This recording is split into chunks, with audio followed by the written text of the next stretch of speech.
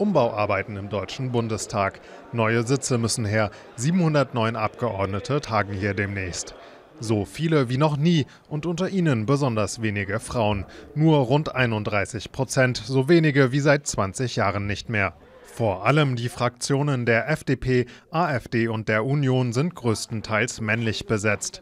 Die CDU-CSU-Parlamentarierinnen fordern deshalb ein Gegensteuern und erheben Anspruch auf rund ein Drittel der Führungspositionen. Für mich ist es ganz wesentlich, dass Frauen sichtbar bleiben, aus verschiedenen Gründen. Wenn wir sichtbar bleiben müssen, dann tun wir das über solche Führungspositionen, die natürlich auch mit einer bestimmten Aufmerksamkeit der Öffentlichkeit verbunden sind. Und äh, das ist uns ganz wichtig.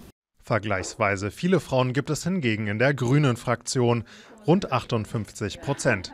Die Abgeordnete Ulle Schaufs sieht die anderen Parteien und die Bundesregierung um Kanzlerin Merkel in der Pflicht. Es äh, ist eben nicht nur die Frau an der Spitze, die wichtig ist, sondern es ist eben auch die Politik, die dahinter steckt. Und deswegen wäre es auch sehr wichtig, und das ist für mich als Grüne auch das Ziel, Gleichstellungspolitik, Frauenpolitik, Geschlechtergerechtigkeit muss eben als Querschnittsthema auch überall verankert sein.